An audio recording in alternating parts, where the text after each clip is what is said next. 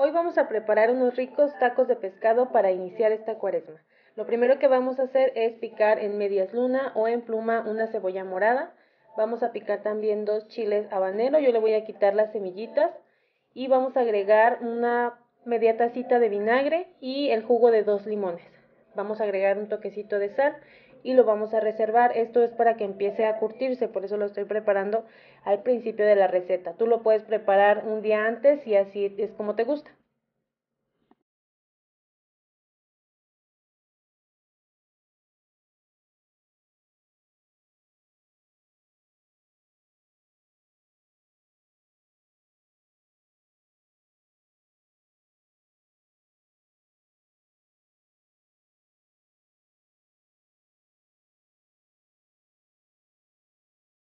Ya aquí con mi tabla bien limpiecita otra vez, vamos a picar la col o repollo. Yo tengo aquí un cuarto de col, pero no la voy a ocupar toda en esta ocasión.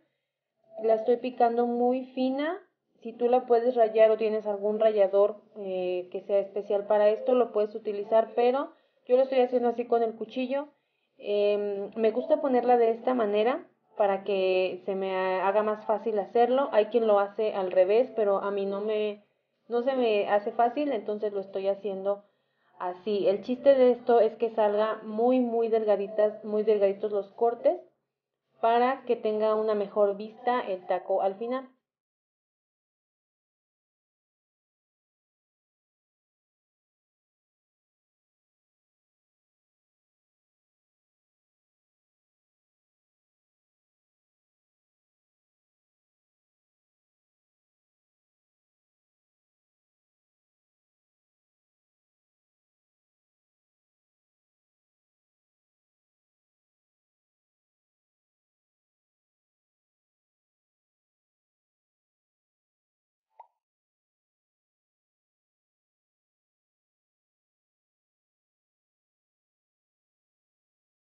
Y ahora sí, aquí me estoy llevando la col que ya tengo rayada a enjuagar bien bajo el chorro del agua. Y una vez que ya la tenga bien enjuagada y escurrida, le voy a agregar una taza de agua de, para beber. Le voy a agregar también media tacita de vinagre blanco y una pizquita de sal. Esto es para que se empiece a desinfectar, la vamos a dejar así un buen rato. Esta es la manera en la que yo lo hago. Si tú tienes alguna otra manera que sea efectiva también, agradecería que nos la compartas en los comentarios.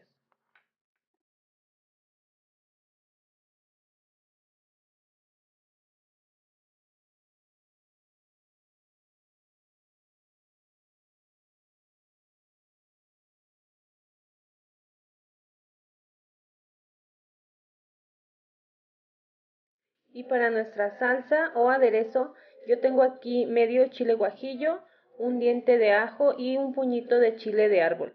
No sé cuántos eh, exactamente porque es dependiendo del gusto. Estos están un poco picosos, ya los he ocupado antes y es por eso que le estoy poniendo solamente esta cantidad. Si no picara, pues agregaría un poquito más, pero ya depende del gusto de cada quien.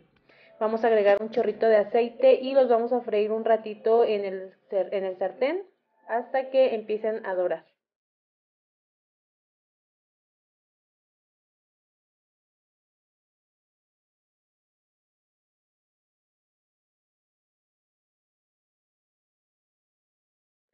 En nuestra licuadora o procesador vamos a agregar a los chiles dos cucharadas de mayonesa, dos cucharadas también de crema ácida o de crema de leche.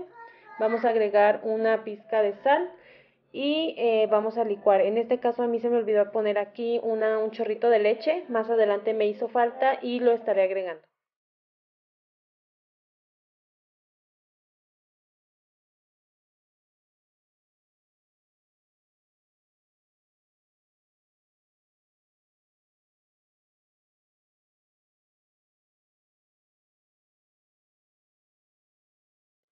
Una vez que nuestra salsa ya está lista, vamos a ponerla en un recipiente y la vamos a reservar para utilizarla al final.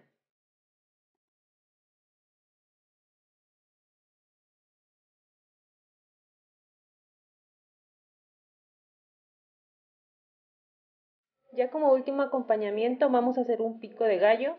Yo tengo aquí cebolla, utilicé nada más la mitad de una cebolla, dos jitomates picados en cuadritos, Y vamos a utilizar también un pedazo de pepino, al cual le vamos a retirar las semillas y vamos a cortar también en cuadritos.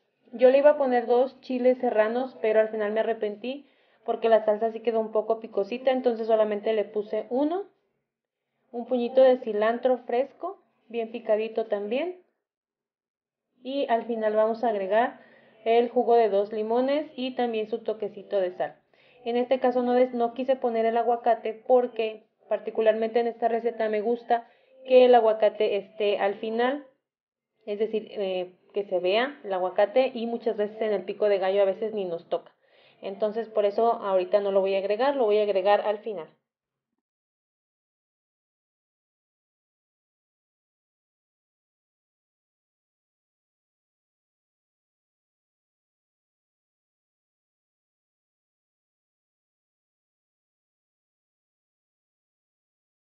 Vamos a mezclar muy bien y vamos a reservar. Yo lo voy a tapar con papel de cocina. Puedes utilizar un topper que tenga tapa. Y lo vamos a refrigerar un momento para que los sabores se mezclen muy muy bien hasta el momento en que lo vayamos a ocupar.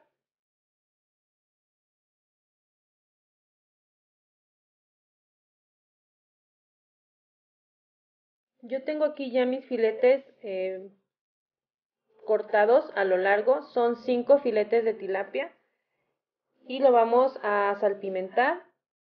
Y aparte de la sal y pimienta, yo voy a ocupar el sazonador que me ha estado gustando para acompañar los pescados y mariscos, que es em, con naranja.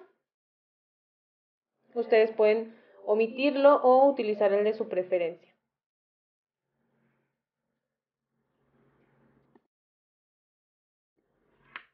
Y una vez que ya estén todos bien llenitos de sal, de pimienta, vamos a mezclarlos con las manos muy limpias para que estos se integren muy bien en el pescado para que se impregne de la sal y la pimienta y lo vamos a reservar mientras hacemos nuestro rebozado.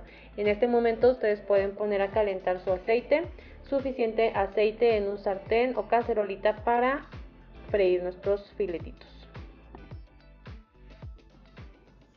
Y aquí ya con mis manos bien limpias otra vez, vamos a agregar a dos tazas de harina, dos cucharaditas de polvo para hornear. Vamos a agregar también un toquecito de sal y vamos a ir mezclando para que se, integren muy bien estos ingredientes.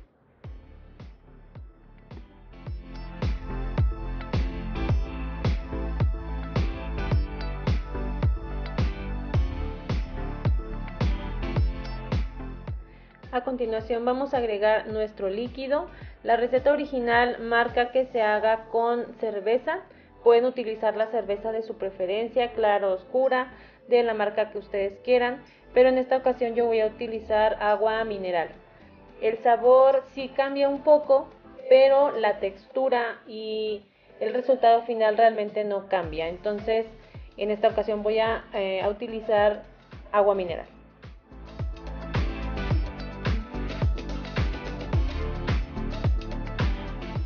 Vamos a ir agregando el líquido de poco en poco y en este momento vamos a agregar también un huevo y vamos a ir mezclando eh, y agregando el líquido dependiendo de cómo nos haga falta.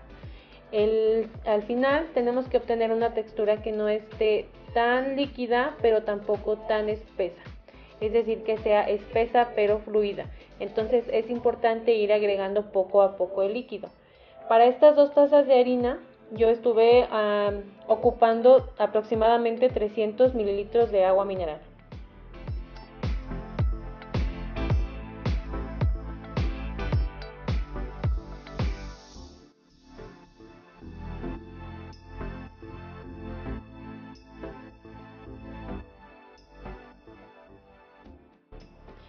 Y al final así es como nos debe de quedar la consistencia. Como les menciono, tiene que estar un poco espesa, pero que esté fluida.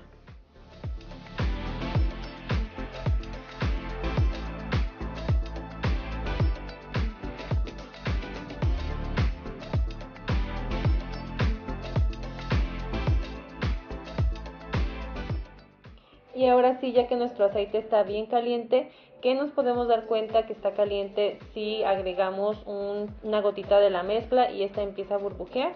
Entonces quiere decir que ya está lista. Eh, en este momento vamos a bajar la flama a intensidad media para que nuestros eh, pescaditos se, se cosan muy bien, pero que no se quemen por fuera. Estamos buscando un doradito, pero que esté bien cocido. Entonces ya con, bueno, metemos el pescadito a la mezcla y vamos a irlos poniendo de esta manera. No importa que el sartén se vaya llenando de esas eh, migajitas de, de masa, al final las vamos a ir sacando para evitar que nuestro aceite se queme.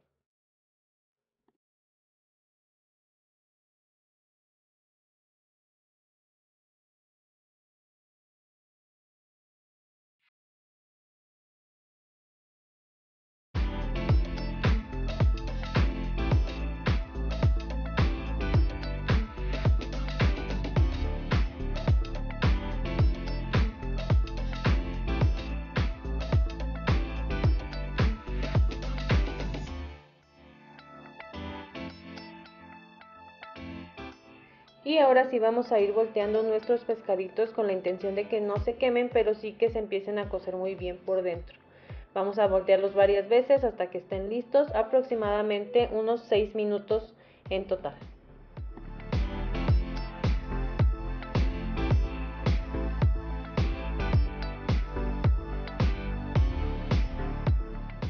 Y aquí les estoy mostrando un pedacito que se estaba comiendo mi niño y les quise enseñar está bien cocido por dentro. Pues ya están listos nuestros pescaditos, así es como me, quedaron a mí. Fueron en total de esta cantidad tres eh, filetes. Lo demás lo reservé.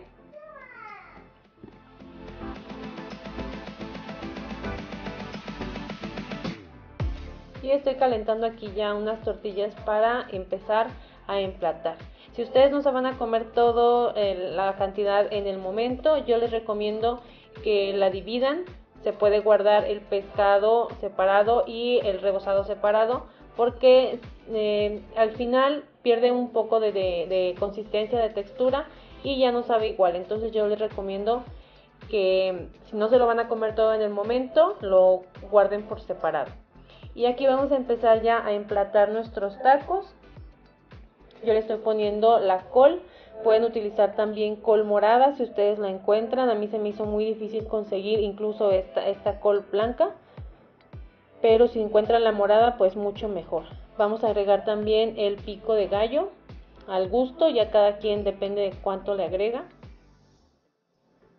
Y también vamos a agregar su cebollita morada y la salsita que estuvimos haciendo.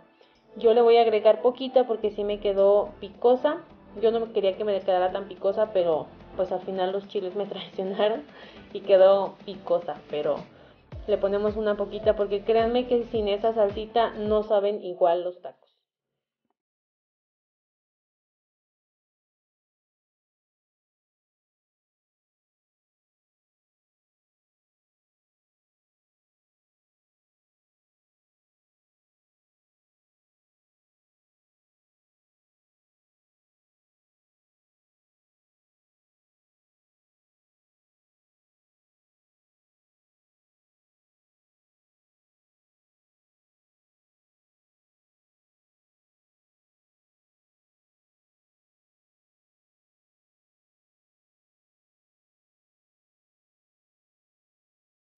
Y aquí, como les comenté al principio, estoy agregando el aguacate. A mí me gusta hacerlo así porque me gusta que se vea.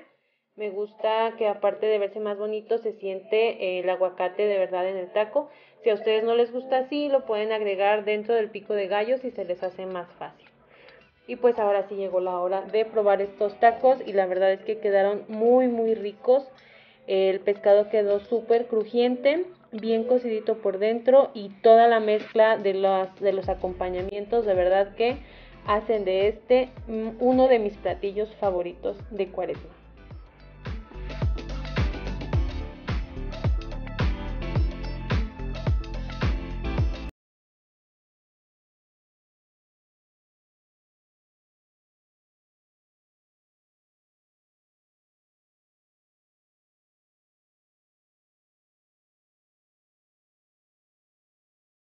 Y así es como yo serví los platos de mis hijos.